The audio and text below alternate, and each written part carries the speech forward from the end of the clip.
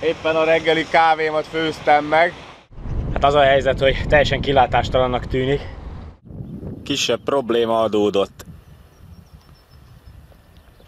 Elágazáshoz érkeztem. Na most vajon merre?